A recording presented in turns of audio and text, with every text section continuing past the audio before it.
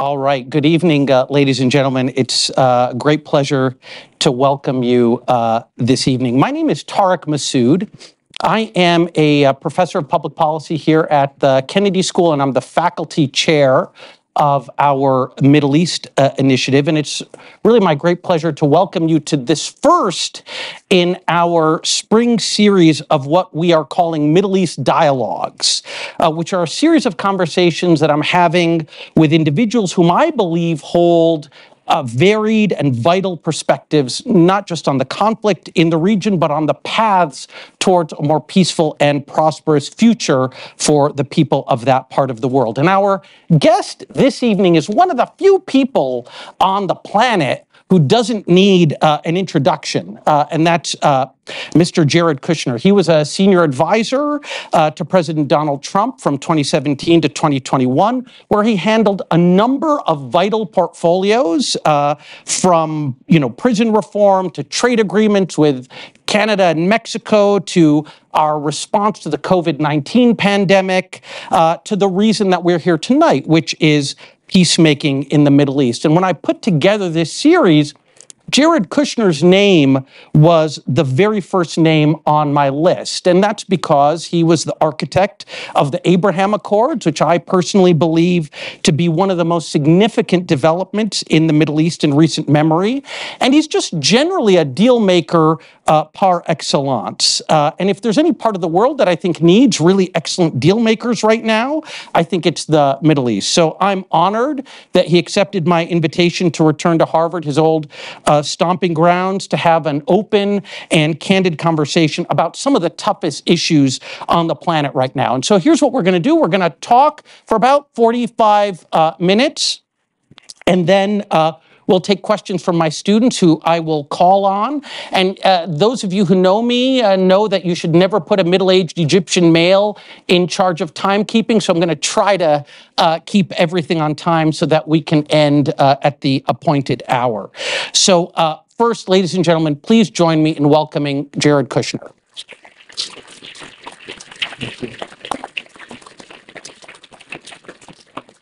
Jared, thank you so much for being with us.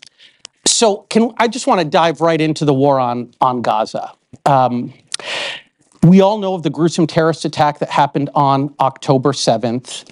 More than 1,200 innocent Israelis uh, brutally murdered by Hamas terrorists, more than 200 people taken hostages. Um, Prime Minister Netanyahu vowed a fearsome military response which was designed or intended to make sure that this uh, never happens again. And now, today, four months later, more than 25,000 Palestinians are dead. I can't tell you what percentage of them are Hamas terrorists, but we know that half of them are women and children. We know that more than a million Gazans are trying to shelter in the south of the country. They're amassing on the border with Egypt. Many reports indicate that Gazans are now enduring a famine, and Israel is poised to begin a ground operation in Rafah that we think will take many more civilian lives. We know Israel's being accused of genocide in front of the International Court of Justice, and even President Biden says that the Israeli operation has been over the top. But I'm guessing you don't support calls for a ceasefire, and I want to ask why. Or jump right into it. So it's good. Um, First of all, it's really great to be here, and thank you for putting on this dialogue on the Middle East. I think it's a topic that uh, I spent a lot of time, I spent four years working on when I was in the White House. It wasn't an issue that I had a lot of experience with, so I really came into it with a, a blank slate. I wish I'd been in some classes like this and gone to lectures like this when I was at Harvard. Um, maybe it would have actually given me a, a worse outcome. But uh, but, but, I, but I, wait a minute. but I hope today I'll, I'll, share with you some of my experience and perspectives. But I will say that um, you know throughout my time I was always um, a lot of the things that I, I would say, a lot of the things I would do were. Um, fairly heavily um, complained about or criticized from, I would say, the consensus thinking. And so um, I, I think that number one, when looking at the current situation, um, I, I tried to look at everything kind of first principles, and I try to say, you know, w- what's going on, what should it be, what are the right uh, actions, and and what I find is that there's a lot of uh, emotion with this issue. uh, some of it justified, some of it uh, unjustified, uh, for a whole host of it. And what I would say is this: I think that um, number one, I take a step back and say, like, why are we here? Right? You go back to 2021, and when uh, I was able to go back to my normal life uh, after leaving uh, office. Uh, our four years in service, we we basically left the Middle East where uh, it was very calm, right? It was calm, it had momentum. Um, you think about uh, ISIS, they were basically, uh, the, the, caliphate was gone. Syria, the civil war had mostly uh, stabilized uh, in the sense that you didn't have, I think, 500,000 people were killed. Uh, when we started, Yemen was destabilized, Lib- Libya was destabilized. Uh, ISIS had a caliphate the size of Ohio, and Iran was flush with cash. And they were basically using that money to fund Hamas, to fund Hezbollah, to fund the Houthis, and they were on a glide path to a nuclear weapon. So we inherited a really, really bad um, hand and then with the JCPOA agreement, which was probably one of the dumbest agreements I think ever uh, negotiated, just as anyone who like studies agreements and deals, um, that really left us in a bad situation. So we worked hard. We tried to regain trust. We did a lot of work, and we could talk about that later. Um, but the way we left the region was basically uh, we had six peace deals in the last six months that we were there. Uh, less, I think, in the last maybe four or five months mm-hmm. that we mm-hmm. were there. So um, you had uh, we, we, took a different approach to the Palestinians uh, we're able to make peace between Israel and the United Arab Emirates, and then with Bahrain, then Sudan, then uh, Kosovo uh, uh was able to recognize uh, Morocco, uh, and then finally we resolved the GCC dispute, which put everything on a pretty good glide path. Uh, Iran was basically broke. They were out of foreign currency reserves, which meant that no money was going to any of these terrorist organizations. And then, in addition to that, the Palestinians basically were out of money too. We'd stopped funding UNRWA.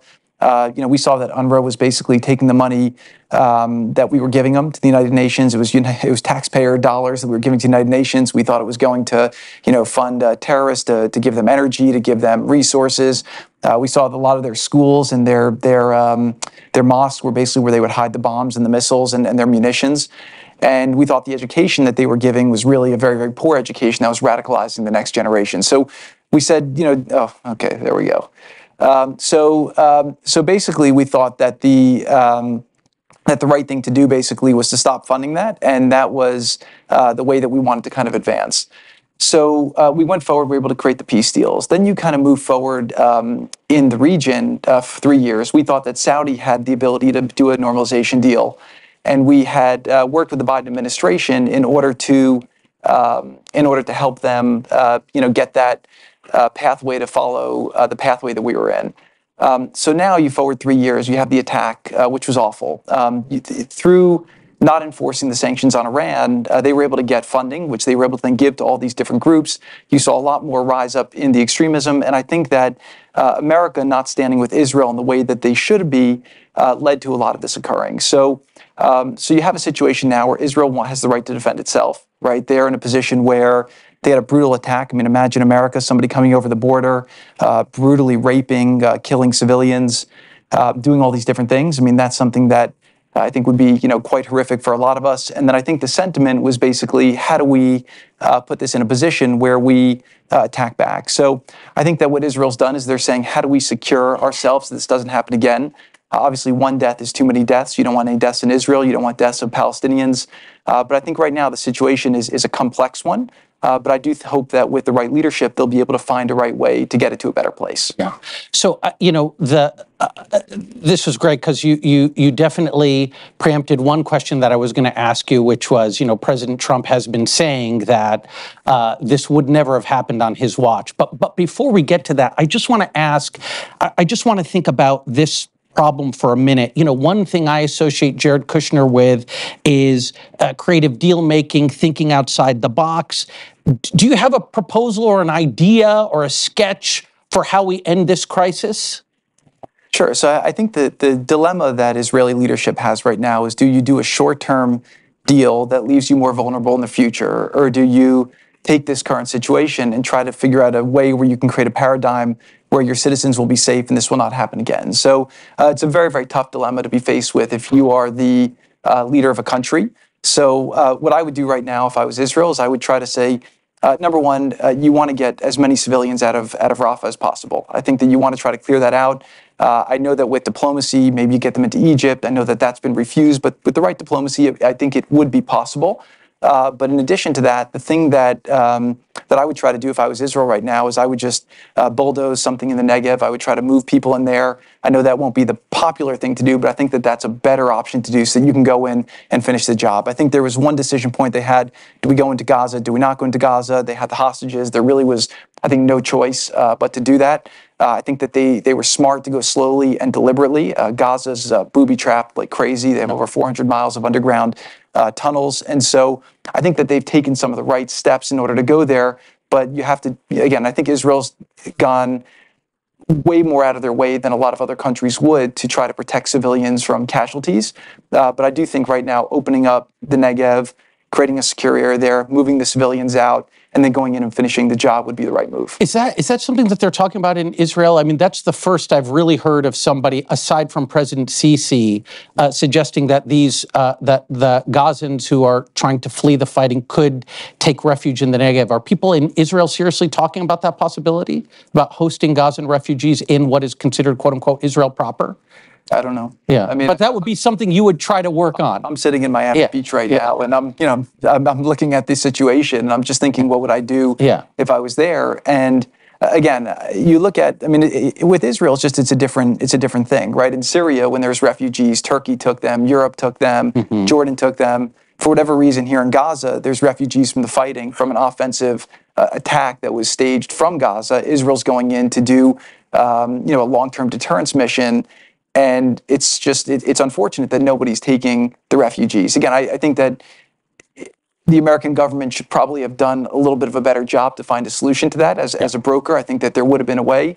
But if that's not a viable option, I think from Israel's perspective, um, it's just something that should be strongly considered. Yeah, yeah. I mean, you know, obviously the reason they're not, you know, for example, the reason the Egyptians don't want to take the refugees, in addition to, of course, there being the domestic uh, uh, unrest that could result or the instability that could result, but also there are real fears on the part of Arabs, and I'm sure you talk to a lot of them who think once Gazans leave Gaza, Netanyahu's never going to let them back in.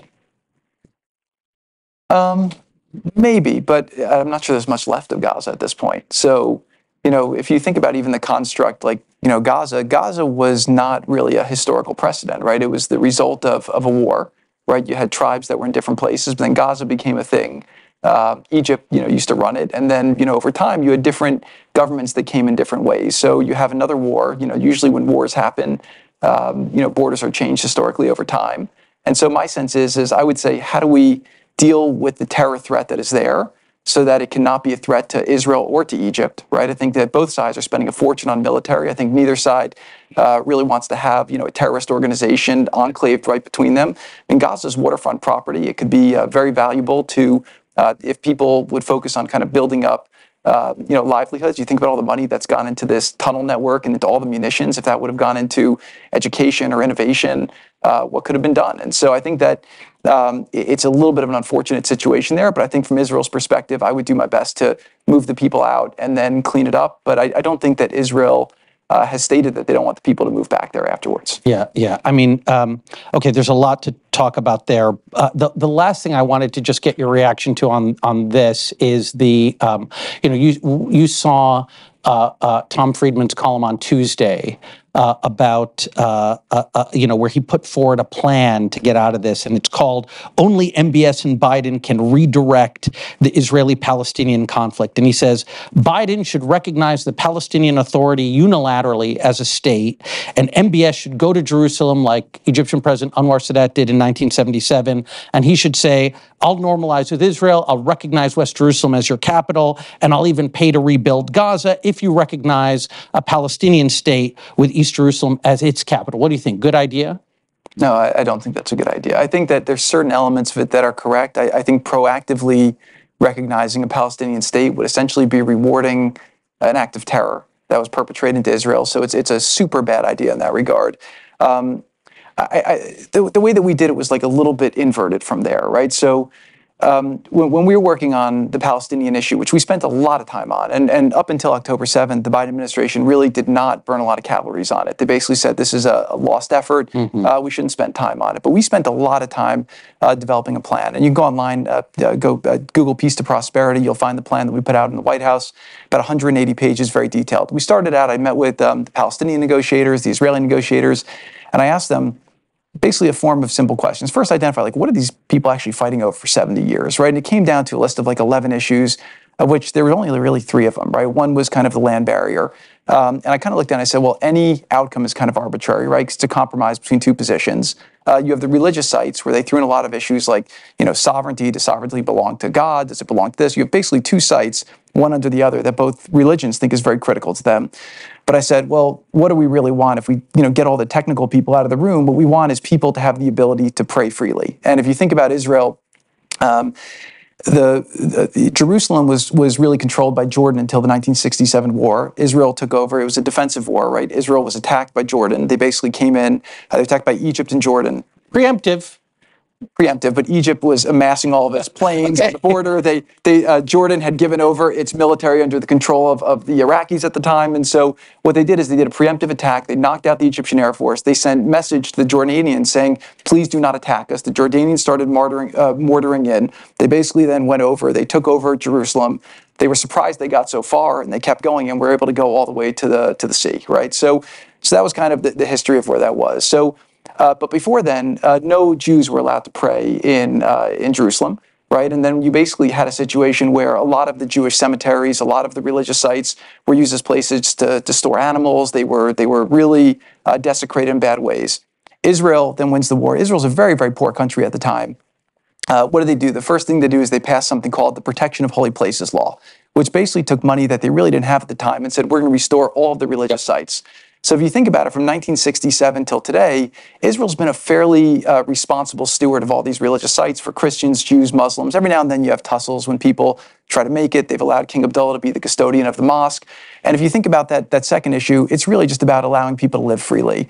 Uh, the third issue that I thought was critical was really just security, right? And you think about it, I mean, we think about it with different countries, but imagine you're like the governor of New Jersey, and then there's uh, people in Pennsylvania who are trying to kind of cross the border and, and kill your people um, you have to make a deal where you're making it less likely they're going to be able to harm your people than more. Otherwise, you're not going to be able to win an election, and it's not a prudent thing to do.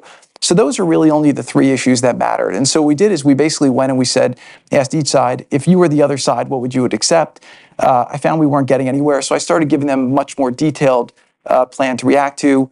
We started going back and forth. It ended up turning into like a 50-page operational plan on how to run things. And by the way, you'll find most people in politics don't want to put details out because details you get attacked when. I got attacked even for taking my job. So I kind of, after like the third day, stopped caring about being attacked.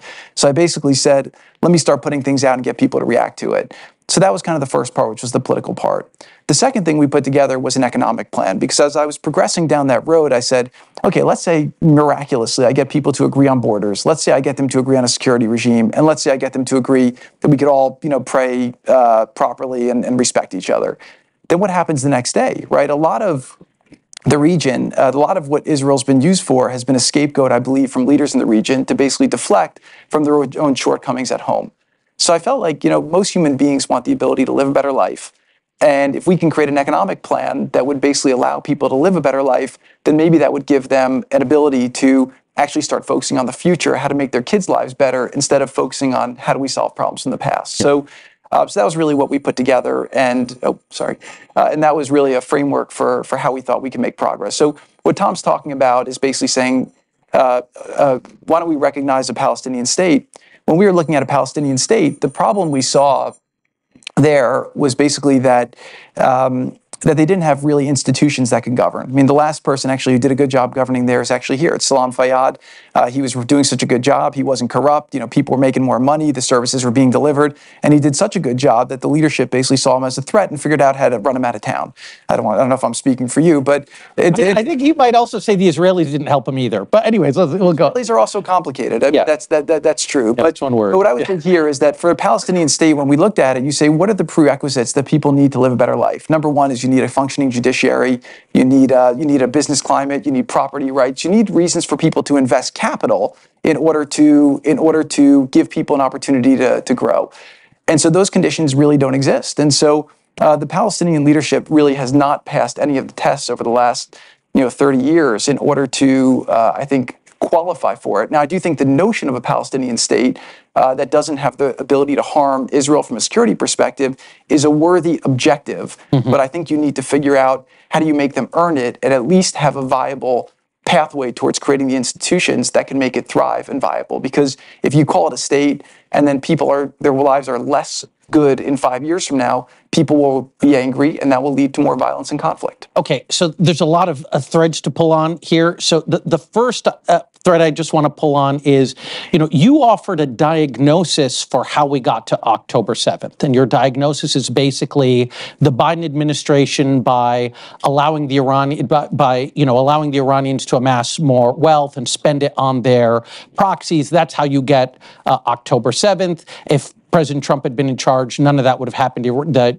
the you know the Iranians would have been continued to be starved of resources, et cetera. Right? Am I correct? I'm correct on on interpreting that hypothesis. Yeah, I'll add one more element, which yeah. is they, they squandered momentum. Yeah. And, what I would say is like whether it's in business, whether it's in politics, momentum is one of like the most valuable things to try to seek. And and yeah. it's funny, I was talking, I wrote about in my book actually with yeah. Bibi that you know, I was with him after he lost an election. Yeah. Uh, not a lost election. He was trying to form a coalition. Yeah. Somebody put a knife in his back, and he basically lost it. And I was with him the next day. We thought we were going to announce something and move forward.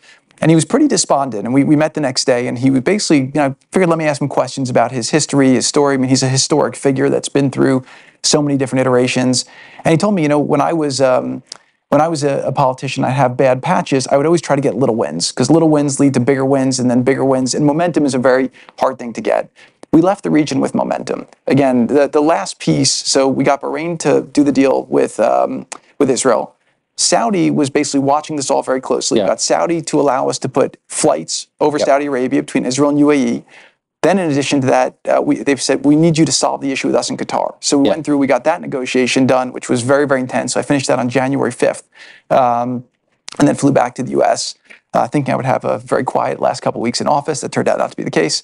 Um, and uh, and um, and so basically everything was good. What we basically what, what, they could have done was then said, let's sit with Saudi, let's go finish the job, let's finish the momentum. And so they basically changed policy, and I think that led to a reversion of momentum. They waited two years to get started, and then get a stronger Iran, less trust, and I think that also contributed to it as well. Okay, so what, what would you say to the alternative hypothesis that says actually the reason we got October 7th is because the strategy that you had for peacemaking, which, you know, whose creativity we're, I'm not going to question, it was quite creative, but by essentially neglecting the core of the issue, the, the Palestinians' desire to uh, determine their own fate, that you just created the circumstances where you know the the the the rejectionists would have the upper hand. That this is basically not the result of you know Iran or whatever. It's a result of the fact that you know the Trump administration spent four years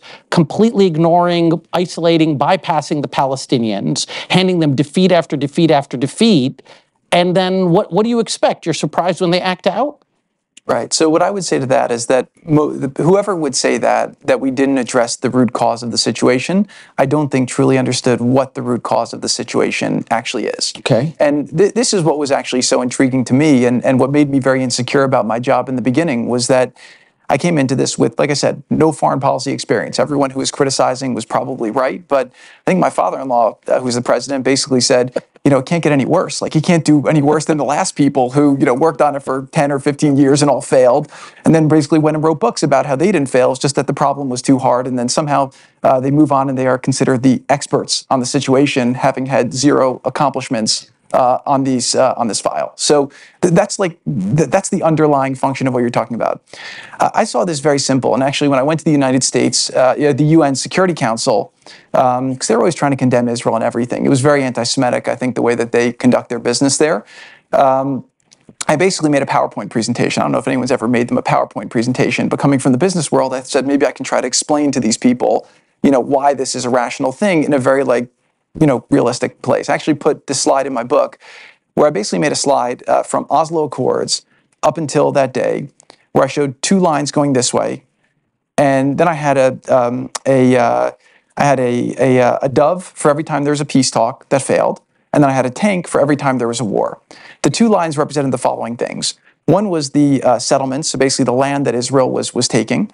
And then the other one represented money going to the Palestinians, mm-hmm. right? So what happened was is every time a peace talk sale, uh, failed or a war occurred, the same two things occurred. The Palestinians got more money and the Israelis took more land. So both sides essentially got what they wanted, right? So neither, I thought, had really motivation to, to make the deal uh, based on their own politics and their own interests. And then the second thing was is I, I, kind of looked at it and I said, these issues actually are not that hard to solve. Which again, a lot of people laughed at me for saying that, but I basically said we have to, you know, figure out, you know, how to just kind of push this forward.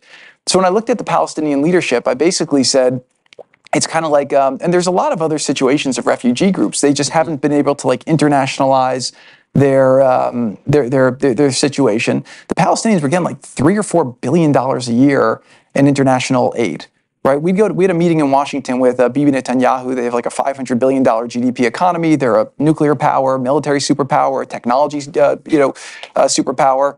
And uh, he would fly in on an El Al commercial plane with his team, right? We'd meet with the head of a refugee group, Mohammed Abbas, and he would fly into Washington on a $60 million Boeing business jet.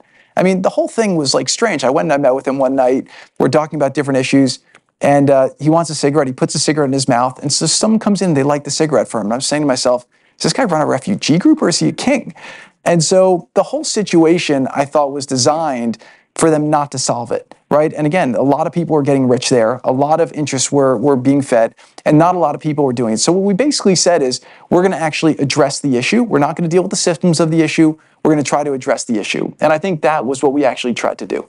Okay, so there, there's a lot to pull on here too, uh, with respect to uh, Mahmoud Abbas. Um, so, so I'm going to just stipulate at the outset some of the my favorite bits of this book are your uh, descriptions of conversations with Mahmoud Abbas, and I, he's I'm not uh, uh, on his list of fans. But let me try to uh, uh, let me quote somebody who is on his list of fans, uh, your father-in-law. So he said he told Barak Ravid, you know, Abbas, I thought he was terrific. He was almost like a father. Couldn't have been nicer. I thought he wanted to make a deal more than Netanyahu. What was your father-in-law getting wrong?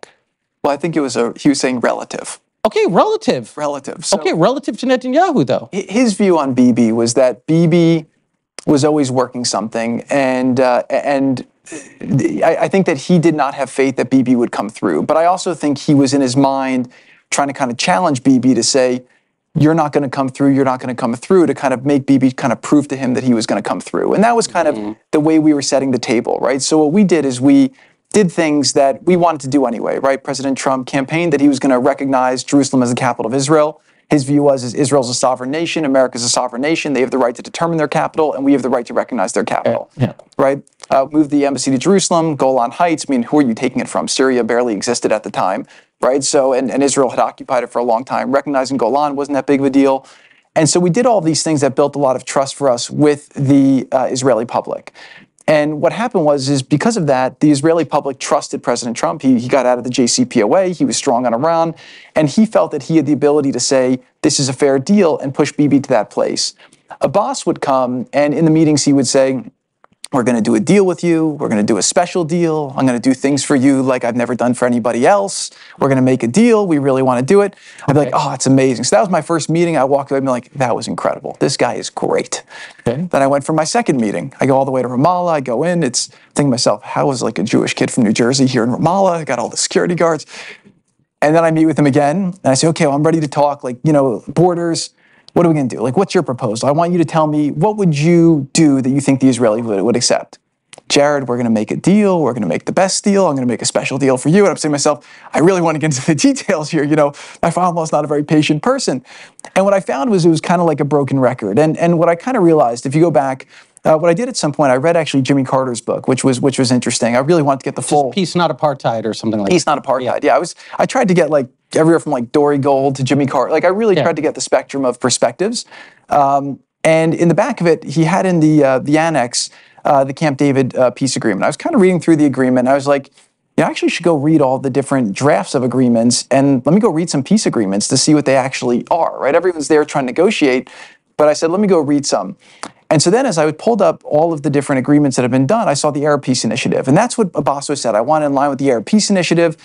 And so I pulled up the Arab Peace Initiative, and it was 10 lines, and had no detail, and it was a concept, and it was generated, you know, in a different place. And one of the tenets of it was uh, we want a capital in East Jerusalem. And so I had a guy on my team who was awesome, a guy, Scott Leith, he was a military guy, and I said he worked for John Kerry. His, his whole life has been working on this issue, but he was from the State Department, which was a much more, a different perspective than, say, a former business guy who's more of a pragmatist would have.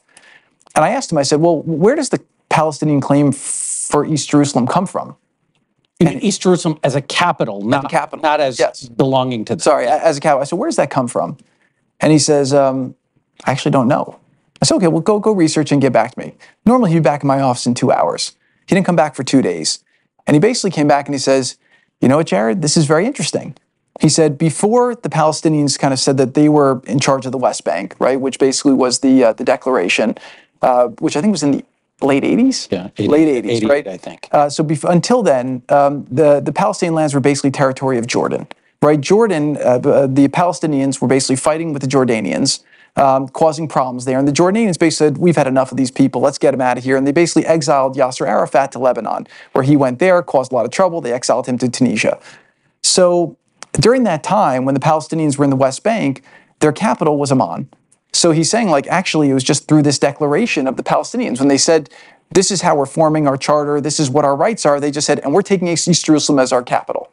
So it was just one of these things that kind of came down. Declaring East Jerusalem as their capital. Declaring, Like, yeah. in other words, East Jerusalem was always going to be part of what a Palestinian state was because they had never ceded it. Yeah. Right. A part. Okay. But what I would say about that, and this is also another notion, is that again, because there's a lot of uh, you'll hear people set, throw around a lot of words like uh, they'll throw apartheid or, or East Jerusalem or it is.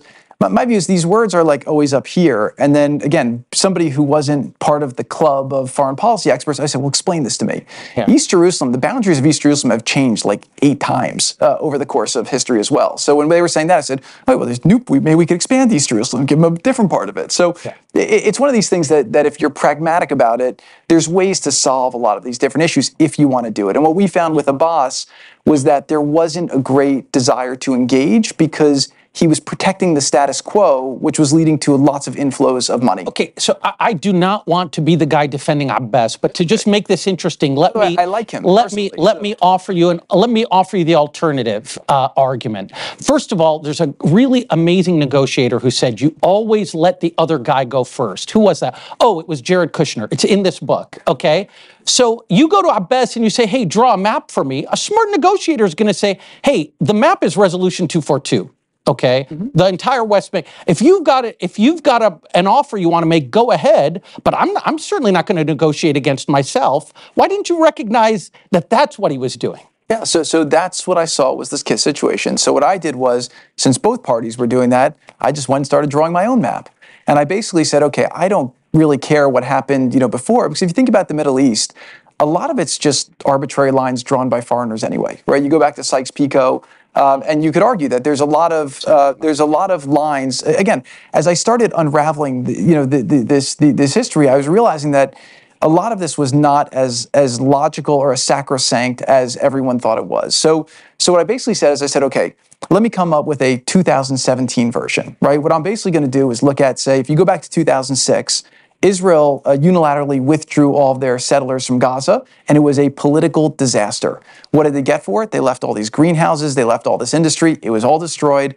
They ended up with a group with a you know a terrorist group took over, and then since then they've been firing rockets into Israel, and Israel's been less safe because of their withdrawal. And October 7th proved that. But this was even before that. I said there is no way Israel's uprooting any of these settlers. So I said, let me just say, if I want to give the Palestinians a state, let me figure out how can I draw a line and just take all the places where they're settlers and just make a new line here and then figure out how do you swap land here and there and then make whatever's not contiguous contiguous with you know today you got uh, tunnels you got bridges all these different things. How do you make it connectable so that it could be a functioning state and then go from there. So I started drawing a line, and then I figured I'd let each party react to it one way or the other. We ended up putting it out. I, again, I, I, fought a lot with Bibi and his team. I, I threw show him the map. The, you can't have this, you can't have that. I said, okay, let's move the line here and there. But that was how I started. I was never able to get the Palestinians to engage off of that map to say, we want this, Yeah. So th- this is interesting. I mean, obviously, you know, you're a great negotiator. I'm a fat professor who's never even negotiated his salary properly. But, you know, so so so, but but. That's um, usually you- what the people who are doing well say. You know, you know, but but the but the the the um the the way you present, I did think it was you really deserve a lot of credit for getting Benjamin Netanyahu to put down on paper the borders of a Palestinian state that he would accept. Mm-hmm. Okay, you're the first person to really get them uh, to do that. And not just him. Yeah. We got the opposition during a heated election to agree to, them agree to it, to agree to it. Massive step forward. Yeah, m- massive step forward. And one of the great things that you say in this book, by the way, which I actually think is ex- exculpatory of the Palestinians, is you say everybody says Camp David 2000, the Palestinians walked away from a really detailed agreement. There wasn't a detailed agreement, right? So that's actually a little bit exculpatory for the Palestinians. But in any case, you finally get Benjamin Netanyahu to put down on paper his what he will accept. And just from my research, I was not able to find like any text of a deal that was anywhere near close to a negotiation. I also thought the power dynamics were different. Whereas what I was told is that uh, Arafat was basically not being supported by the Arabs. The Arabs wanted to keep this thing alive, and they didn't want him to make a deal. Whereas today, you know, when we got in, I recognized a different dynamic where kind of the Arabs I felt wanted him to finish this, which gave me a lot more ability to lean into things. Yeah, that, that's that's interesting. So so, but the point is, so you've got now Benjamin Netanyahu's drawn the map. Why do you why do you take this to uh, Abbas, or why do you announce this as the American plan to which the Israelis have signed on? Like you are, you know, the American. you're, you've got this. Uh, position as the broker between these two parties. Why didn't you go back to Abbas and say, okay, here's what the here's the Israeli position, and then let Abbas say, okay, no, I don't like this border, I don't like that. And then you, why didn't you do it that way? Why did you why did you present it in such a way where it looked like what you were trying to do was to give him an offer he couldn't accept so that you could then say to the other Arabs, ah, this guy's a rejectionist, I did my best. Can we now conclude some peace deals directly between you and the Israelis and leave these Palestinians uh, uh, on the side? I'll try to do this answer as short as possible, but it's, it's going to be a little one. So, Okay. Number one, what I tried to do is set up the situation. So, when we moved the embassy to Jerusalem, uh, Abbas and his team said, We're not talking to you guys anymore. After a couple months, they came back. We kept the security cooperation going, uh, but he broke ties with us diplomatically. And I remember at the time, uh, Rex Tillerson, who was the Secretary of State, said, We've got to go do something. Let's give them East Jerusalem. Let's do this because these guys are going to run away and we're not going to. We're not going to hear from them again for another decade. And I said, Rex, we're not doing it. He said, Why? I said, They've trained American negotiators over time to say jump, and we say how high. So, so uh, give, I, I read that in the book, and I thought that was an extraordinary. Give me an example of where we said to the Palestinians when the, Pal- the Palestinians told us jump, and we did it. They always, everything with me was a threat. We're going to withdraw from the negotiation. This. I said, who cares? We, we give you guys $700 million a year. I don't care. Like, my view is if you're going to come and do it, great. If not, we're going to stop funding you guys. But that's how we're going to set the dynamic. Okay. So then the second thing I did was I said, um, we're not going to allow you to control whether we can negotiate this or not. So because they withdrew, I said, okay, I could stop. Now the good news is I had other files to work on, right? I wasn't a sole person, but the reason why the U.S. were trained to chase them is usually it was an envoy whose sole job it was to deal with the Israelis and the Palestinians, and the Palestinians said, we're not negotiating. He had nothing to do. For me, I said, okay, I'll work on other things. That's okay. You know, I have other jobs here. And so what we basically did was we went and we started pushing forward with the plan. And my thinking was, is as I was speaking to the Arabs, they said, get an honest plan on paper from Israel, and we will try to push the Palestinians to take it, hmm. right? Because they basically said, we want this thing resolved. So if they said, if you can put a credible offer, and they did not believe that we can get Bibi or United Israel to put forward a credible plan, I said, good, let's do it. Again, I, I was always willing to chase the crazy things, and I, I kind of liked it. So it, it was, it was, um, so, and again, I felt like this was very important. Yes. So, so going after it and trying to settle things, I thought was was critical. So we went, we worked hard with Israel. We kept negotiating with them to get them more and more. I didn't take them all the way to where I thought we could have gone. Security wise, I, I was in, in full agreement with everything we put in our plan. Again, my, I, I really was very sympathetic to Israel. You can't make a peace deal and then be less safe the next day, right? You do a deal so that you're more safe. So that was number one. The borders, I felt like we should just be super pragmatic about it. And there was a couple of things in there that I knew we could swap around, so I left some meat on the bone for Abbas. I'm going to get to the answer to your question. yeah. So, so I, I kind of left some meat on the bone. Then, when we announced the plan, so first of all, we surprised everyone by getting Israel to put out a very detailed plan. We had a unified Israeli government supporting it. We got very positive statements from the Arab countries saying we encourage both sides to negotiate on this basis, on the basis of this plan, which diplomatically was actually a very big step forward in the diplomatic world, right? Then what I did is I had the CIA deliver to Abbas a copy of the plan with a note from us right beforehand, basically saying, um, uh, this is the plan we're putting out. Uh, we, we have built a lot of goodwill with Israel we are willing to use that goodwill to try to make a fair deal that we think can resolve this. Th- that's the question I'm asking. So why why why that framing? Why didn't you say, here's what the Israelis are offering. Let's show give me your counteroffer. Why didn't you do that? That's essentially what the letter said, right? The letter basically from the president said, you know, we're happy to chat. And we we basically, you know, we said, look, we're happy to chat. We're moving forward this. We we had to set the dynamic where the train was moving forward with or without him. And this is what I do believe too, right? They were very isolated they were basically running out of cash, right? Iran was running out of cash. And we had the only thing on the table. The Abraham Accords were now starting to collapse the pocket around them. And so basically, what we were doing is we were trying to eliminate all of his escape, cat, escape paths and build him a golden bridge. Yeah. And then basically, at some point, we figured he'd go over the bridge. Yeah. I feel like, what if, I mean, I feel like the natural response to that is, you know, very clever deal making. I certainly would not want to be on the opposite side of a real estate transaction with you, but what you weren't recognizing is that Abbas has people to his right. He's got Hamas that he's got to contend with. And you were just making it absolutely impossible for him to make a deal with you. And all you were doing here is just proving the rejectionist point and making the average Palestinian think, yeah, absolutely, that America has no intention of actually being an honest broker or getting us a good deal. Look what they're doing to Abbas, who is their ally. So then maybe the only path is the path of this violent uh, resistance. Okay, so uh, I hope you're saying that in the context of being provocative or, or devil's yes, advocate, yes. because my sense is that's like the total conventional way of thinking about this. Yes, and again, I'm, I'm saying this like openly. Like I was criticized by all of the conventional players on this because I did not approach but this in a normal way. happened. Right, but but let me go back to that point. Yeah. So the, the point there is that the, the other version of what that was said is that if you move the embassy to Jerusalem, the Middle East is going to have a war. That was the intel, U.S. intelligence assessment. That was yeah. what uh, Abbas said. That's what every leader in the region said. Yeah. If you get out of the JCPOA, the world's going to end. If you move the embassy, the, the, the world's going to end. Yeah. Well, every time we did one of those things, we worked to mitigate the risk. And you know what happened the next day? The sun rose in the morning and it set in the evening. Yeah, yeah. And, and nothing happened. Okay, we had a little things, we managed them, it was no big deal. So our thinking was is that if you're going to say that Abbas can't engage with us and try to make a compromise because Hamas is, is to his, his other side. We thought the best way to empower him over Hamas was to make him the guy who delivered investment, uh, uh, yeah. upside, yeah. uh, uh compromise, better life for the people. And yeah. that's, that's how we read the situation back in 2019, 2020. And I still believe at that moment our assessment was correct. Yeah. Can I, you know, I want to move on to other issues, but I just want to like, you know, when, when I look at the way you negotiated with Bibi, okay, so you mentioned, for example, the, the, the move uh, to move the embassy to Jerusalem, for example. Like every time you made one of these decisions, and President Trump would say, Hey, what am I getting for this? You want me to move the embassy to Jerusalem? What's Bibi going to give me? Oh, you want me to recognize Israeli sovereignty over the Golan? I've already done enough for Bibi. Why am I going to do this? And every time you would say to the president, Hey, hey, hey, we're building capital with the Israelis. We're building capital with Bibi. Why, why weren't you trying to build capital with the Palestinians?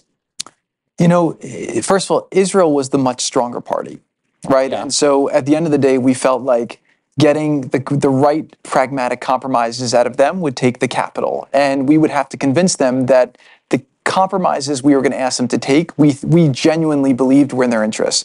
Keep in mind, all of the things we did for Bibi were things that we thought were the right things to do. So he was a political beneficiary of the, beneficiary of them. Uh, he would tout them for his domestic and international popularity, but the reality is, is we were doing things that we thought were the right things to do. Why didn't you at least you you Why didn't you at least get him to freeze settlement? Say like, hey, I'm going to give you Jerusalem. I'm going to recognize the the Golan. If you notice with us, the settlements were basically contained to areas. I mean, he did he did pro forma stuff, but nothing that was that radical. He didn't go too crazy with us in the settlements. Okay, fair, fair. But, but but again, our, our our strategy was basically have the tough conversations quietly, figure out how to mitigate. Again, you could have disagreement, but let's focus on the big things. I remember uh, I got a call from David Friedman. Um, uh, who's our ambassador to Israel? And said, "Oh, Jared, we have to deal with this. You know, two Israelis were stale." I said, "David, I said, stop chasing rabbits.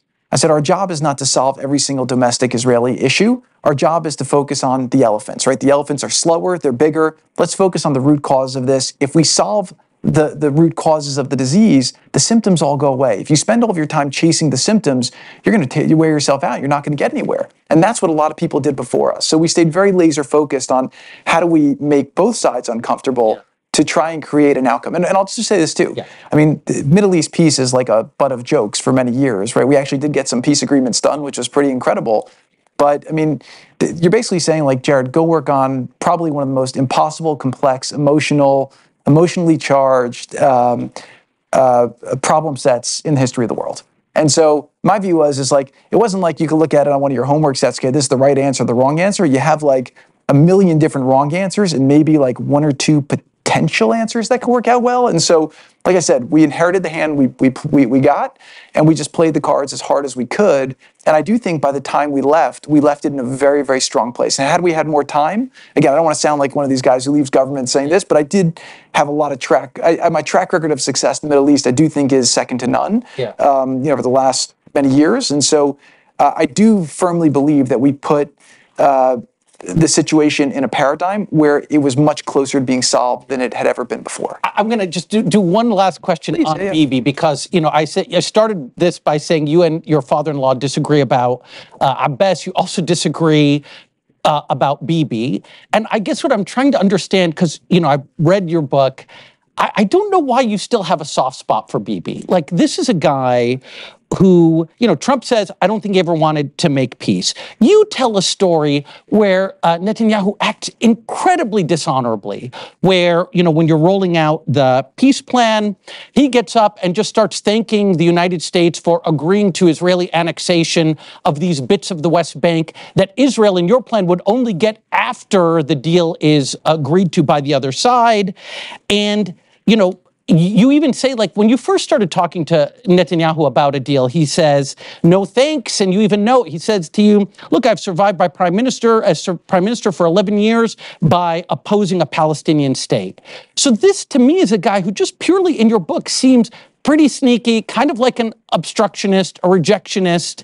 Um, and yet you talk about him in the book at the, towards the end you say he could be a powerful catalyst for change and i'm thinking to myself yeah he's a you know, it seems to me he was more an obstacle to the kind of change that you wanted and the U.S. wanted, which was to see a, a solution to the Palestinian issue. So, what am I and your father in law getting wrong about this guy?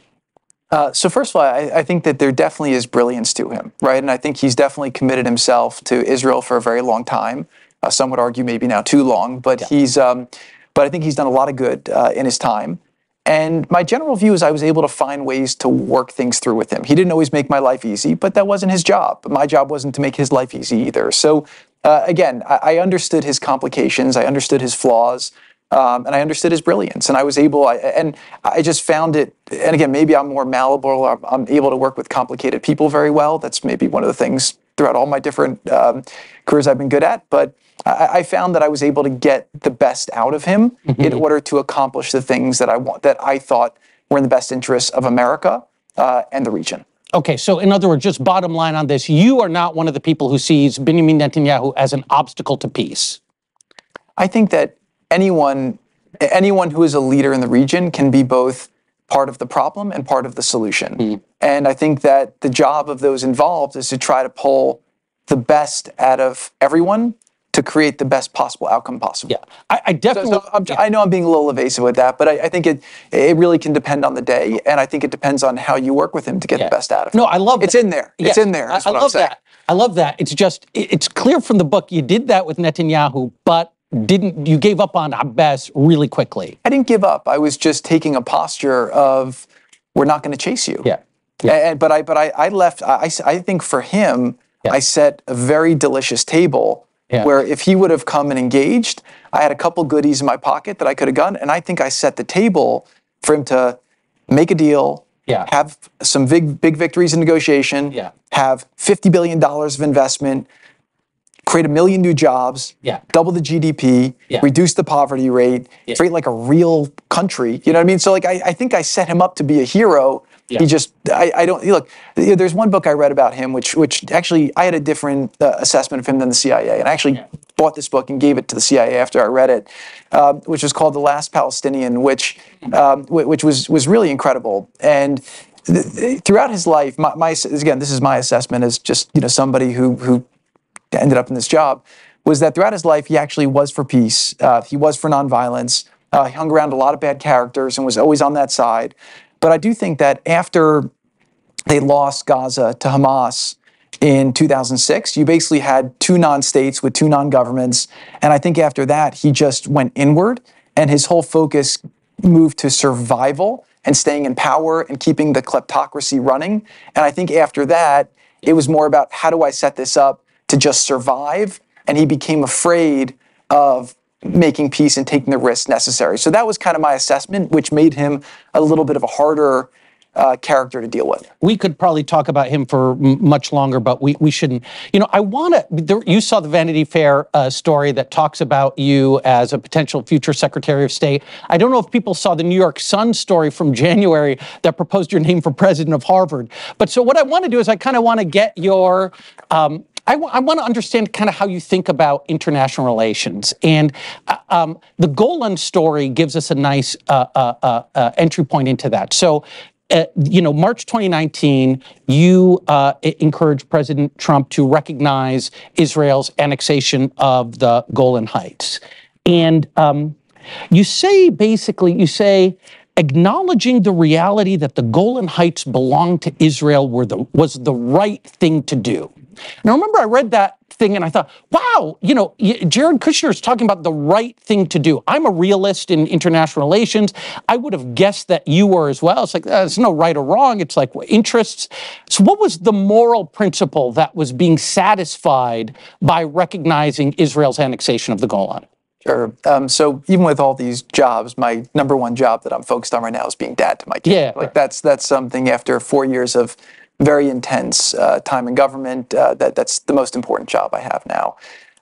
That's your way of saying you don't want to be Secretary of State. my job. That's my way of saying like I'm really liking the job I have right now. It's it's really it's it's really important. So um, so uh, so what I would say is that like the, the way that I kind of approach foreign policy, and again, this came from not really having any experience in foreign policy, was basically saying every problem set I got, almost I think my disadvantage was that I didn't have any context, and my advantage was that I didn't have any context.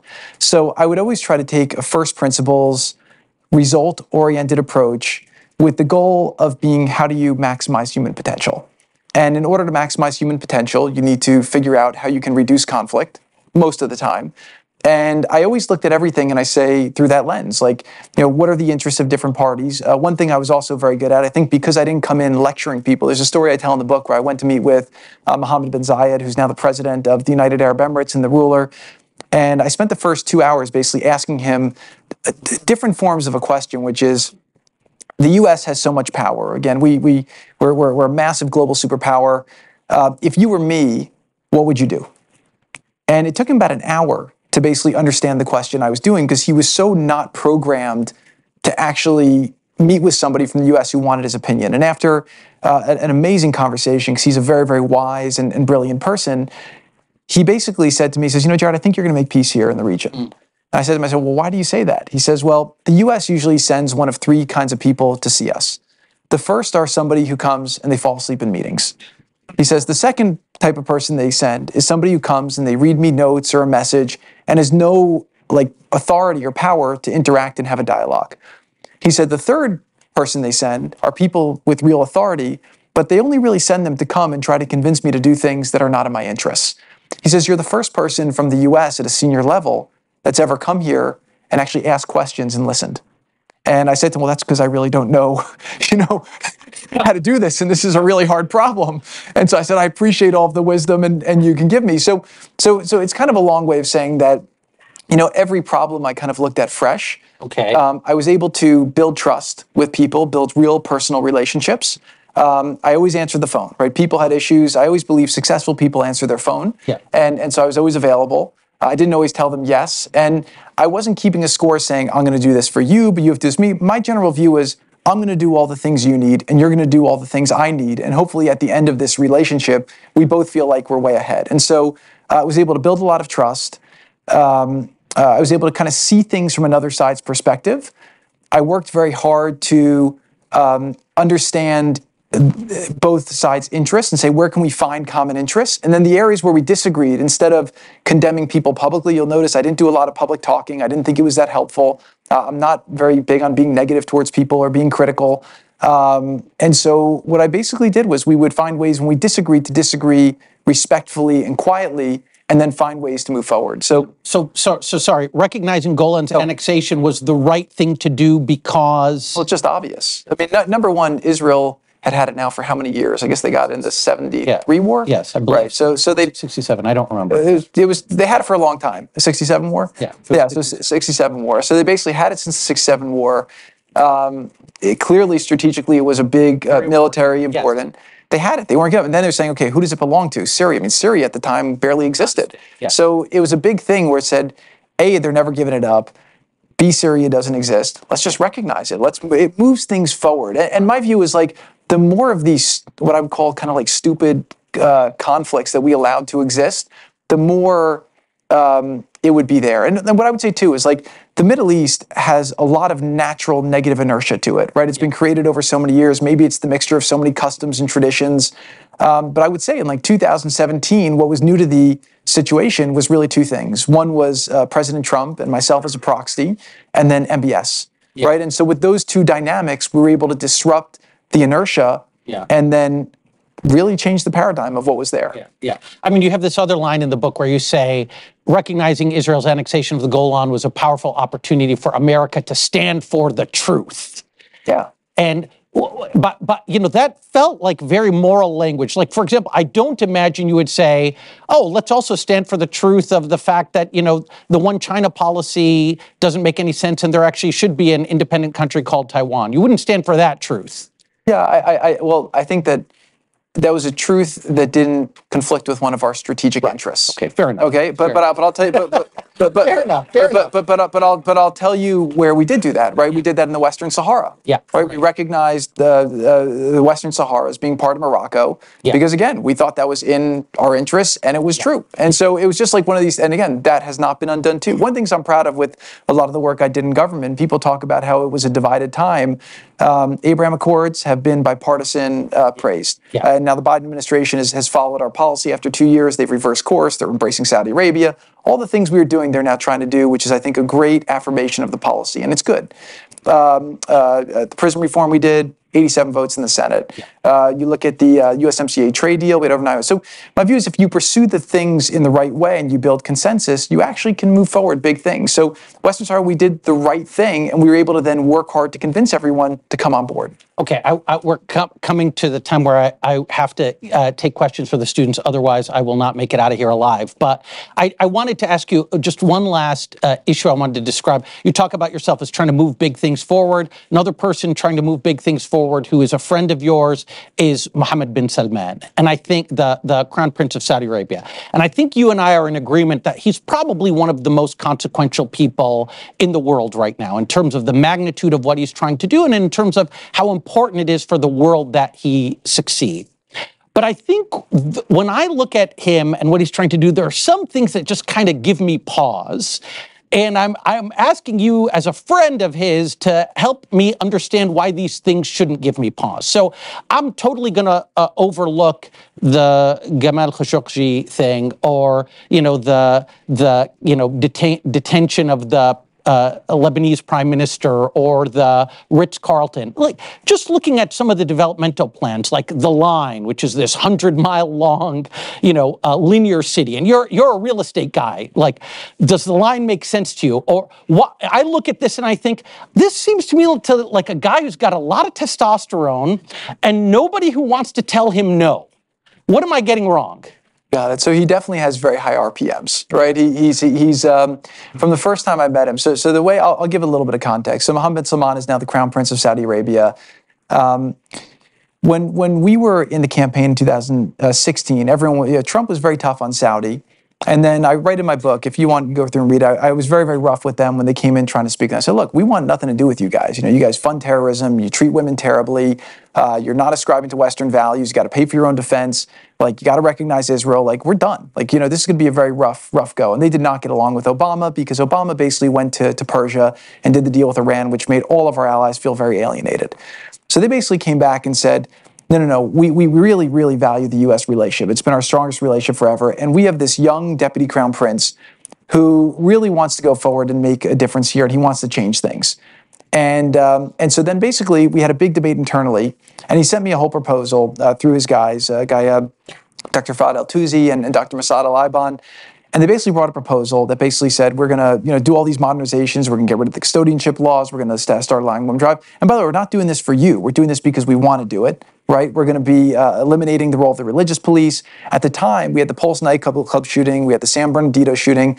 The biggest problem in 2016, a big issue in the campaign, was really uh, radicalization, right? ISIS had a caliphate the size of Ohio, and the whole talking point was we need to defeat the territorial caliphate of ISIS, and then we need to win the long term battle against extremism. There was a real fear that these extremists were basically using online mechanisms to radicalize people all over the world. Uh, we needed to stop the flow of funds to terrorists. So they came with a proposal saying Saudi Arabia, the custodian of the two holy mosques, is going to lean into this and help you create a whole center where we're going to now single handedly lead the fight with you to fight online extremism and radicalization. We're going to be, and by the way, they never called it modernizing Islam. He would always say, I want to restore Islam. He says these people who are the who are the terrorists, the, the, the ISIS, they don't represent Islam. They are they are basically doing awful things in the name of Islam, and they are giving us Muslims a bad name, and we are just as aligned with you. Again, we don't think Trump is against Muslims. We think he's against Islamic extremists who pervert our religion. So they came with this whole proposal. Look, we're going to do hundreds of billions of dollars of investment in the U.S. Uh, we're going to do. Uh, we're going to start paying for a lot more of our defense. And it was like a dream come true from everything that Trump. I, I thought Trump would like. They bring the proposal again. Me knowing absolutely nothing about Saudi Arabia, nothing about uh, foreign policy. I bring it to the national security team and I say, "Well, th- this is a proposal we got from Saudi. Is this uh, is this interesting? This is Jared." One of these things would be revolutionary. I said, well, they're saying they're going to do all of it if we kind of lean into the relationship.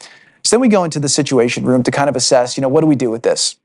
And I'm sitting with uh, Secretary of Defense Mattis, uh, Tillerson, John Kelly, Homeland Security, uh, and they're all saying, Saudi Arabia, and Tillerson saying, I've dealt with the Saudis all my life. I ran ExxonMobil. I know the Saudis. They never keep their word and they never come through. You know, Jared, it, it's a nice thing, but you're a young, naive guy, and uh, you know, it's it's not going to go anywhere. I said, look, they're putting it all in writing. I said, why should we predetermine them to a future where nothing happens? If they're saying they want to make these changes, let's give them a little bit of rope. So we take it to the president, and he's doing a call with King Salman. And before the call, we're having this debate. They say, you know, you're to deal with King Salman. We have uh, we deal with his uh, his brother uh, Mohammed bin Naif, uh, who's the uh, the intelligence chief, and uh, he's a great ally for the U.S. And I said, well, if he's such a good ally to the US, why do we have all these terrorist concerns with Saudi that you guys keep complaining about? And I said, look, I just want you to know, I have a proposal from another guy there who's the deputy crown prince, Mohammed bin Salman, and he's saying he wants to do all these things to really change the big things that will really make a difference. So call gets on the line. President Trump takes the call, speaks to King Salman. It was a pretty rough call because Trump, as you know, can be very blunt. and he, uh, he basically says, we want to see changes and we want to see them fast. And what King Salman basically says to him is, we're ready to lean in. We want to really strengthen the relationship with America. We did not like how it went before, and uh, we're ready to do it. And so President Trump says, who should my team deal with? And he says, deal with my son, the Deputy Crown Prince Mohammed bin Salman. So then he says, let him deal with Jared. And the reason why he chose me for is he knew the other guys weren't believers and they'd probably sabotage. So I get back to my desk and I have a note from him we worked uh, uh, basically uh, for like 90 days straight to set up this trip. He sent his top guys to Washington. I got every single thing in writing. I couldn't get people in the White House to come to the meetings to plan the trip because they basically said, this is going to be a disaster. We are all going to be embarrassed and we want Jared to take the blame. We're taking off for the trip. I'm thinking to myself, why do I always do this to myself? We could have just gone to Mexico and like cut a ribbon. Like, what do I have to do this for? You know? So we go there. And uh, I actually would encourage you to read or watch uh, President Trump's speech from Riyadh because he basically said, you'll excuse my French, he says, look, I'm not going there to kiss ass. He says, I'm going there to kind of lay down markers and say, um, th- this is what needs to change and this is what we need to do. He went there with a very tough, realistic speech. And he basically said, this is not your problem. This is not our problem. This is all of our problems. We want to get these terrorists out of our homes, get them out of our mosques. Let's get them out of this world. And it was very, very rough. And the king of Saudi Arabia gets up there and says, There is no glory in death, Yeah. which also was a big statement. So I'm giving a long uh, lead up to say this is where we are. Um, over that visit, I, I had dinner with the crown prince, then the deputy crown prince. And I remember he said something to me which was amazing, which he said, you know, my father's generation, they were kind of in the desert. You know, they, they really didn't have a lot. And they look at the city of Riyadh today with airports and military, and they got so much further than they ever dreamed they could. He says, my generation, we look at all of the potential that our country has that's not being that's not being sought after, and we see it as a big wasted opportunity. We want to go to much, much higher, higher, higher heights. We believe in in in Saudi. I always say there's a reason why Saudi is such a big territory. They were amazing warriors back in the day. So it's an incredible people that have been very repressed through bad leadership for a long time. So again, people were very surprised the first reform, the second reform. And keep in mind, you had the religious police. People thought if he tried this stuff, they would kill him. And he was able to kind of, you know, move so quickly on so many reforms that he's freed that next generation. When we did our conference in Bahrain in 2019, um, one of the challenges we had was finding role models for young uh, Middle Eastern kids, young Palestinian kids, say, who are the new tech entrepreneurs? Who's the Mark Zuckerberg or the Elon Musk that these kids should look up to? Now, I was in Saudi Arabia probably five months ago, and I had a, a, meeting with like 30 tech entrepreneurs, and this guy's building, you know, the X of Saudi, the Y of Saudi. They're building all these great startups, and it's just he's unleashed a whole new generation of that. He once said to me as well, something which was amazing, where he said, you know, because I, I, was saying to him, you've got all these ambitious projects. I said, are you sure it's a good thing to be doing all this? Again, yeah. we're friends, and and uh, we're able to have honest discussions yes. with each other. Uh, we've had some tough discussions. We've had some some fun discussions. Yeah. Um, but he basically looked at me and he said, Jared, he said, look, the way I view this is we have a country with amazing potential. Yeah. As a leader, most leaders will say, let me do two or three things. Yeah. And then you set low expectations and you achieve it and you declare success. He says, that's not my approach. He says, my approach is I want to take on 100 things. Yeah. And if I fail at 50 things, instead of looking back in five years and saying, I accomplished three things, I'll say, I accomplished 50 things. And so I think he's going for it in that way. So if you want to look at the significance of him, and I'll, I'll say this, you know, the Khashoggi thing was a, an absolutely terrible situation, uh, but I think the American media got very fixated on it. And it's funny. I had a, a journalist, um, uh, one somebody who's an editor of a, a magazine, calls me because she was uh, moderating a panel uh, with some Saudi ministers and said, "Can you give me some advice on what I should ask them about?" And I said, "Well, let's go away from the conventional stuff. Why don't you talk about what it's like to run a KPI giving, uh, uh, a KPI-driven government?" I said that would be a very interesting conversation. It was a business conference. Performance indicator. Yeah. So, so she said, she, I said, look, you know, you should go there and see what's happening. It is, it is one of the most exciting places now in the world. And she says, oh, I can't go there. My colleagues will kill me. And the, so I'm saying to myself, well, that's not curiosity in journalism. So one of the biggest misperceptions I believe right now in America is the American journalists are not paying attention to what's happening there. And it's one of the most exciting transformations in the world. And if you think about why I am a believer that in Gaza or in the West Bank, yeah. there's hope to transform those societies and take the people who right now people say, oh, they're all radicalized. Um, you know, how can we transform them? Look what's happened in Saudi Arabia over five years. So if you think about him in the context of of of a, of um, of kind of like the, the, the 21st century and and and how we'll look at it, I think that I put half of it in the context of the amount of extremism and radicalization that we are not having to deal with because of the way that he's taken Saudi Arabia in a different direction. I think that's a, it's funny, in politics, you know, again, I, I, look at some of the things we're talking about saying, oh, well, you know, we're going in and we're solving a problem. We're going and solving the border crisis that we basically created, right? Here, he's spending a lot of time and effort and risk yeah. to have avoided what I think are massive, potentially unovercomable problems. The other side of it is the contributions, right? And so there we're kind of in the middle phase. I think he's already accomplished, to be honest with you, um, from when I met him the first time and he told me about a lot of these dreams, yeah. Uh, I think he's accomplished way more than I think anyone could have expected. Yeah. And I think the cool thing is, is he's just getting warmed up. And so now you think about these projects, he's a very out of the box thinker. Yeah. Uh, I see that he's getting better and better the ministers around him, uh, again, they, they all sit around. It's like sitting with the, the, the leadership team of a startup. Um, they're getting better and better. They're competitive with each other, but in a friendly way. And I think that there's a real ambition and an appetite for risk there that you don't see in a lot of countries. And they have the resources. And, and you think about the location, right? They have access to, in the Gulf right now, one of the reasons I'm so bullish there is you have access to the European market and to the Yeah. US market, but then you have access to the Asian market where there's massive massive growth. So you look at the circumference around them, you have like 4 billion people. Yeah. And you've got a lot, you have established markets, emerging markets. They have a, you know, net net uh, net surpluses because of their oil trade. Yeah. Um, they're making massive investments in renewables. They're being a true leader in a lot of fronts. And I think that's very exciting. So again, I was very uh, without him, I don't think we would have been able to turn the tide in the region. Um, I'm still very optimistic. I think now it's funny they're they're talking about with Israel. It's not a question of if; it's a question of of, of when and and and how and for what. Right, and so those negotiations are ongoing. I think they could be, they could, they could conclude in a week from now. They could Yeah. conclude in a year from now. But they're going to happen, and that's all because of the effort that he's bringing. And I think that you're going to see a different Middle East, a different, um, a different world because of the work he's done. So, Yeah. so I, I think it's very exciting. You're definitely bullish, clearly bullish on uh, on MBS and on Saudi. Are you so bullish on them that you'd invest there? Yeah. Okay. Yeah, yeah. Uh, look, one of the, the challenges of investing there is that they're doing so much investment internally.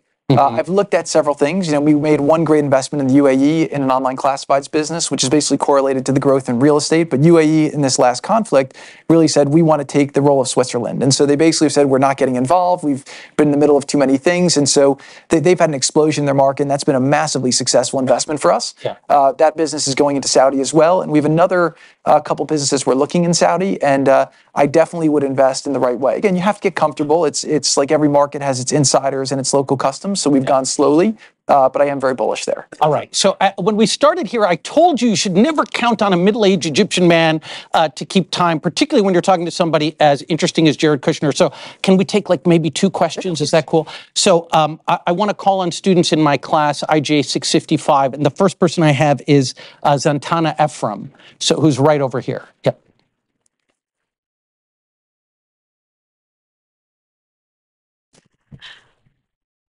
Hi, Jared. Thank you for being here with us today. Um, so, the question I'd submitted to Professor Masoud is this um, As you're undoubtedly aware, there have been numerous significant discussions across the country surrounding the campus culture in higher education, particularly in relation to the Israeli Palestinian conflict. Um, these conversations often touch upon anti Palestinian sentiments, Islamophobia, and anti Semitism. Um, I assume your presence here today suggests that you recognize the necessity of what the Harvard Kennedy School calls candid conversations, um, particularly within institutions of higher education. In light of this, could you share your perspective on areas where you believe Harvard University, its donors, or students may have faltered or faced missteps in addressing the complexities of the conflict on our campus? Sure. So um, I'll be honest. When I got reached out to from from Tarek, it was at a time where a lot of my friends were getting very, very negative on Harvard, and um, and I've always been somebody. I'm not big into condemnation. I'm big in, in engagement. Every now and then you got to do condemnation, but you know they say like you know you don't make peace with your friends. You have to kind of like go out there and, and go into places that are uncomfortable. Uh, I will say that, and by the way, I'll say one other uh, pretext, which is I got here about an hour before this, and I was walking around campus, and uh, you guys are all so lucky to be here. This place is absolutely amazing. It is so special. Um, it survived for a long time, and it's it's always been uh, a beacon of excellence. And uh, like all great institutions, perhaps maybe it lost its way a little bit. Uh, I'm sure that's happened in the past. I have not studied the history of Harvard as much as I have some of these other topics. Um, but what, Much harder. The history of Harvard. yeah, yeah. But but what I would say is this: is that um, I, I, I'm more interested in, in kind of tomorrow and the future, right? I think that what we've been through was, has been a very interesting time um, for the country. I think it's been an interesting time in the world. I think there's been a lot of emotions. Um, I think I would just encourage people, no matter what your persuasion is, to figure out how to engage, right? I think that um, I, saw this when I was in New York before I went into the political world. I, I only had like one friend who was a Republican. I remember sitting here at Harvard and the things that we would say about George Bush and and how certain and how arrogant we were about his policies. And by the way, I, I'm not a fan of, of him as a president. I don't think he was a good president. Um, but um, but it was such a um, uh, a self righteousness about the thought that now I look back on reflection and I see. I saw the same thing in New York where the echo chamber I was in, which I thought was like a very worldly echo chamber. I was with the heads of the banks, the heads of the hedge funds, the heads of the fashion companies, the heads of the technology companies. We'd be at our house, we'd have artists over. And I thought I'd have journalists. I thought I was just with this very um, eclectic, uh, worldly, diverse group. It turned out I was just in a massive echo chamber. And what I would say for all of you is, is I would say try to pursue independent thought. Um, when people are screaming, uh, I'm not sure that that's necessarily um, the most productive way. I would try to do your research. I would try to be with people on both sides, and I would try to engage. This place has a very special history. It has a lot of uh, a lot of that's special to it. And I think that you know, if each of you say, how can we try to contribute to make this a, a comfortable place for everyone? Uh, let's learn. Let's continue to grow and evolve. I, I think that it's possible that this place can hopefully come back to where it has the potential to be. Great. Okay, we'll take one more. Um, I have uh, Barak Sella over here.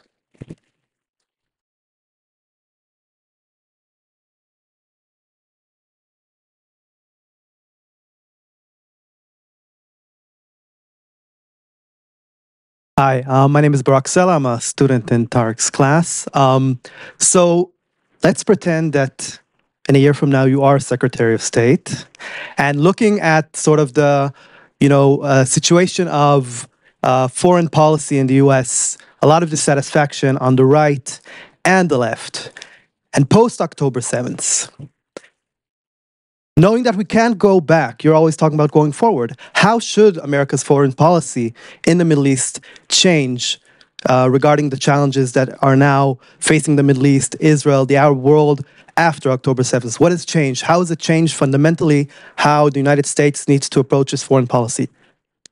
Um, so uh, first of all, I'm just going to say all this is as a hypothetical, uh, right?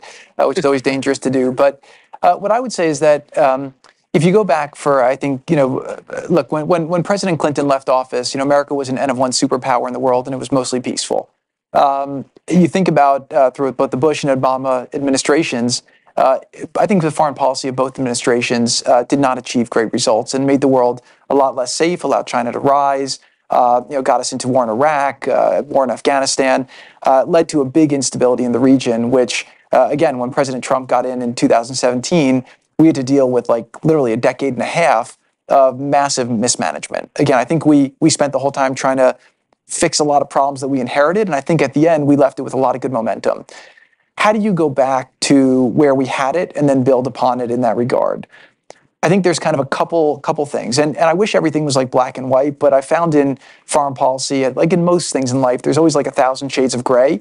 Um, and you need to figure out how everything connects to everything else. So number one is that you need to impose a penalty on Iran, and, and you need them to feel like there is a risk uh, to keep uh, the trouble they, they are making, right? So, uh, what President Trump used to say about Iran is that they've never won a war, but they've never lost a negotiation. So, they're always uh, going around, feeling, trying.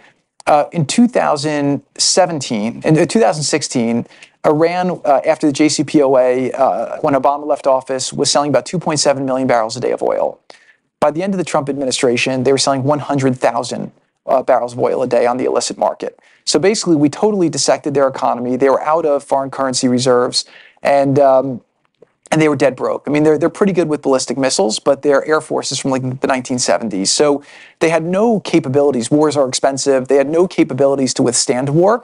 And we had the world pretty united in enforcing the sanctions against them. And that was a very tough battle with Europe uh, and with China and with Russia and a lot of others. But we were able to create enough issues that were else. We were able to really kind of put them in a box and make them fear us. So I would say number one is you have to focus on Iran, and they have to feel, first of all, start cramping down on their resources. And number two, uh, you need to create some kind of uh, fear that this behavior is not going to be uh, treated uh, lightly. Um, I also think there's an issue where you need to figure out how to reset the relationship with China, and I think you need to figure out an end to the uh, Russia-Ukraine war. I don't think there's much there that's happening. Um, I, I think that you know, Russia wants to see us now more distracted. So uh, I do think that they're incentivized to be what against whatever position the U.S. is in the Middle East, right? So let's say the U.S. came out tomorrow and said we're against Israel, Russia would then go back Israel, right? I think that there's a dynamic there where they want to see us distracted so that we focus less on them. And so I think that that uh, conflict strategically is not good for us. I think you need a resolution there. Um, so I think number one is contain Iran. Uh, number two is we, we took a little bit of a different approach than the than the, the administrations before us and after us with Hamas. So if you go back with Hamas, they had the same business plan from basically 2006 up until like 2017, right? Uh, they would fire rockets into Israel. Uh, Israel would overreact the world would then reflexively condemn Israel, right? Because every one of their military targets is underneath a school or a, a residential area. They're, you know, they, they, they, you know, Israel sends out leaflets saying, "Please, you know, civilians move. We're about to bomb," which not really eliminates the element of surprise. Uh, and uh, and so but but you know they basically would would would fire rockets into Israel. Israel would overreact. The world would condemn Israel. Then there'd be a conference. They'd raise money. Hamas would get cash. They'd be good for a couple of years. They'd run out of money. They'd say, "What should we do?" So, oh, I've got an idea. Let's fire rockets into Israel. Israel will overreact. The world will condemn Israel. They'll hold a conference. We'll get some more money. We'll be good for a couple of years. When Hamas did that the first time with us, we, the, the, what the State Department was saying is, we urge both sides to show restraint. We basically did something different. We said, Israel's the right to defend itself. We support that. Israel went in, bombed the crowd. We said, no more money. We're not putting more money in until they stop bombing. We're not putting good money after bad. If you guys actually show us a paradigm, the thing with Gaza that was different from the West Bank is there was no religious sites, right? So it was a very there's no border disputes and there's no religious sites. So it was kind of like a very simple concept of like you guys stop being terrorists and we'll figure out how to rebuild the place. And um, and so the notion there was like like show them that there's going to be a real they're not going to be rewarded for their bad actions. Like now giving them a Palestinian state is basically a reinforcement of we are going to reward you for bad actions, right? Which giving Hamas a Palestinian state, you're giving Palestinians a Palestinian. What do you think that will do for the popularity of Hamas and for people? If you're if you're a young person and you have two people trying to uh, influence you, and you have Mahmoud Abbas saying, my way of being peaceful has what brought us a state. By the way, they all think he's corrupt. They don't like when you criticize their government. But he says, my way of being peaceful. Or you have Hamas saying, the only way we ever got anything was by going in and killing and raping and murdering. And we showed them that we can be tough, and they feared us, and the world rewarded us for it. So my sense is it's an unbelievably awful precedent to do. You have to show terrorists that there will not be tolerated and that we will take strong action. So number one, you've got to you know put some uh, cramps on Iran. Uh, number two, you have to be very tough at going after the terrorists. Number three, you have to work with everyone. There was a lot of trust eroded um, uh, in the region. Uh, you know, since since we left, you know, UAE was shot uh, from the Houthis. Um, by the way, anyway, it doesn't matter. So, um, but, but bottom line is that then I, I, would focus on how do you get the deal with Saudi done, and, and those talks continue to evolve. And I did an interview uh, with Lex Fridman, um, basically the like two days after, and he asked me, "Is the Saudi deal dead uh, with Israel?" I said, "No, no, no. The industrial logic is still." strong there. It's just now Israel's going to have to do what they're going to do. And then when it's done, it's in the interest of all sides. So Israel still wants that deal. The Biden administration still wants that deal. And Saudi still wants that deal. So that deal is still very much alive. And it's interesting to the dynamics. You know, the Biden guys initially said they're going to make Saudi a pariah. And now they're basically running over there, begging them for help to try to figure out how to kind of get this resolved. So, so, so the long answer is I think that's really how you have to do it. You have to stand with Israel. I think it's, it's very, very important. We made we, we deterred a lot of threats because we stood with Israel. I think the North right now is combustible. Uh, I, I, am nervous. I think the U.S. did the right move sending the carriers over initially. Um, but it just takes a, it's like a, think about it like a, a woods with a lot of uh, dry, dry, um, dry leaves. It just takes a little spark and that thing can conflate. There, it's a pretty tough situation. You need a long-term plan to try to uh, uh, diffuse that situation, but you have to figure out how to hope. But it's about being strong, being strong with with with Israel, uh, containing Iran, uh, showing the terrorists they're not going to be rewarded for their actions, and working closely with your partners in Egypt, uh, Jordan, and the Gulf to try to figure out how to continue the economic project that we started. But Jared, you've got to agree with me, and then we'll we'll have to end. You've got to agree with me that ultimately, at the end of the day, the real deal with Arabs that matters for Israel is with Palestinians. So I'll, I'll just say this as um, I think that for Israel and actually for the Jewish people, having a proper resolution to that is very important, right? Because I do think that that's been an excuse for a lot of global anti-Semitism to hide behind during the behind this conflict, um, and I think that that's been. Although, So I think it's definitely within the interests of Israel and the Jewish people to find a resolution to the issue. But, and this is the most important but, it has to be a solution that's sustainable. And when you ask me what's my biggest fear, my biggest fear is that you have a lot of people who are chasing a deal for the sake of a deal and not looking to make a deal that will really leave this in a position where it, it allows, it makes future conflict less likely. And the way you do that is by creating a paradigm where you don't reward bad behavior. You need the right institutions to allow the Palestinian people to live a better life. You know, you said something to me when we were talking. I don't know if I'm allowed to say this, or I could just say I heard this from a friend. Um, uh, And, uh, and I actually thought it was really smart. It had me thinking, and it's, it's absolutely true, you know, that, that Oslo has been a total failure. And again, we've all worked in the constructs of that. But you know, if you think about it, you know, for, for all these years in the Middle East, again, before you had all these countries and all these arbitrary lines that we spoke about with Sykes-Picot, you basically had a situation where you had the tribal system. And, and still, there's still form of governance in the different cities and towns in the tribal system. Oslo, I went before about how Arafat was in Jordan. He tried to assassinate the king. They, they basically, you know, they had Black uh, Saturday, they, September. Black September. They, they got these guys out. They went up to uh, to, to Lebanon. They caused all problems. Le- Lebanon. They kicked them out to Lebanon. They went to your favorite place, Tunisia. Uh, they're in Tunisia, sitting in uh, villas on the beach, basically broke and and and and there. And then the U.S. and Israel have this great idea of saying we're going to take this this former terrorist who's sitting in a villa in Tunisia and we're going to put him in charge of the Palestinians. And then all of a sudden, you've got this like tribal system that's been working there for a long time. They're like, why the hell is this guy in charge of us? And then for 30 years, we've had nothing but failure. The people's lives have not gotten better, and that hasn't worked. So, uh, again, my, my, my fear is that I'm seeing a lot of conventional thinking with the same people who have failed uh, again, you go to Abbas, he's like a broken record. He said the same thing, and his record of non achieving is not good. And my fear is really for the people, because I think that they've been pawns in this situation. And, and the one thing I'll say strongly, you know, if people are very, people who, who are pro, I always say this there's like four categories in this conflict. You have pro Israel, that's acceptable. You have indifferent, that's acceptable. You have pro Palestinian, that's acceptable. You have pro Hamas, that is not acceptable, right? You think about if you want to be pro Palestinian, the best thing you can do is say, the people who have been holding these people back is their leadership. When we held a conference in Bahrain, so I'll do this part very quickly, then we'll wrap.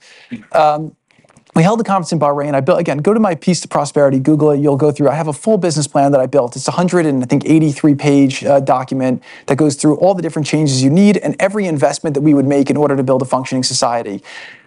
Um, we had every businessman from around the world. Steve Schwarzman came, Randall Stephenson from AT&T, had all the leading Arab businessmen, and they all said, "We want to do things to make the lives of the Palestinian people better, and we will we will invest there."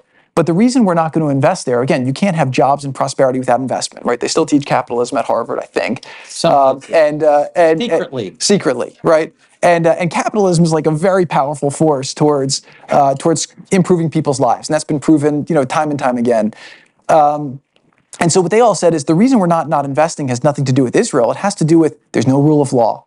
We don't want to go build a factory or a power plant, then have it blown up by terrorism. We don't want there's no property rights. How are we going to go, you know, do something then it's expropriated by these thugs? And so what I would say is that without the proper Palestinian leadership, and again, you can't just say, oh, we're going to do a reinvigorated Palestinian Authority. It's not going to work. It's not going to work. You need a new idea that's actually going to work because you don't want, if you're Israel, yes, I think, and a lot of Israelis at their core, they want the Palestinians to live a better life. They want a Palestinians, the state right now, the state means a lot of things. So it's a very controversial word, even though it shouldn't be because it means different things to different people. But the fundamental underlying part of it that's essential is is there a governing structure in this area for the Palestinian people that will not threaten Israel security wise and that will give the Palestinian people the opportunity to live a better life? Without those two things, nothing is acceptable. You can call it whatever the hell you want. Yeah. Yeah, and I think so. So I think this is a really important note to end on, though, because I think anybody who leaves here would think, well, the tune that Jared Kushner really wants us to hum is that the number one most important thing that we've got to do is invest in the building of Palestinian institutions. And I don't know how you do that while uh, you know a big chunk of Palestine is under uh, this massive bombing campaign. So, so what I would say this is like that's one of the cool. I'll things. give you the last word. Okay, cool. Yeah. So, so one of the things I, I learned also in, in government is that, especially in the Middle East, the number one rule you should follow when doing it is that if they're not screaming at you, you're not on the right path, right? Because all of the I mean, I'm always on the right path. Exactly. Yeah. So so the conventional thinking in that region has just the track record of everyone who's going to be talking is just wrong, right? So think about it again. We go back to like how do I look at it? First principles, results oriented, results outcome, and how do you advance uh, uh, human prosperity? How do you get? How do you advance human potential? How do you give people the chance to live safe, have better life? If it doesn't fit in those criteria, and you put patchwork on it, then you're doing what politicians do. Which again, Trump, eh, coming from the business world, myself coming from the business world, you, a problem's either solved or it's not. right? You can't put a band aid on something and call it solved because it's going to go back. I think the psychology right now of Israel is very much we can never let this happen again. And so I think what they're doing is they're hoping that a solution will develop. And again, I think this is the, the, the burden now that the Biden administration carries. I think the Arab countries want to see this happen as well. But I do think there's a, a very uh, big desire to come up with a solution that will make everyone more prosperous and more safe in the long term. And that's what it's about, right? I, again, I, I have friends now who are Muslims, who are Christians, who are Jews. When I would go sit with people, they knew I was Jewish. I was an envoy from America. We're all the same people. We have the same blood in our veins. And, and when we recognize that, we all kind of want to make things better.